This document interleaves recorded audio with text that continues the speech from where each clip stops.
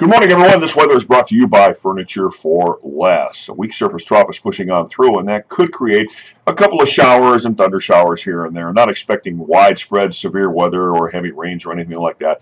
Nonetheless, a couple of them may occur, and whether or not they hit your house is still a question and can't be guaranteed. This will move out tonight, and after that, we're looking at a nice day tomorrow with high pressure in control. High today near 84, wind south, turning more to the northwest, anywhere from 4 to 14 Tonight, a light northwesterly breeze down to about 59 as the sky should remain fair. Sunny tomorrow, 87, variable breeze anywhere from 4 to 13. Then a strong cold front moves on through on Thursday. That will produce showers and thunderstorms. Some could be muscular, followed by much cooler conditions as we head into the end of the week and also the weekend.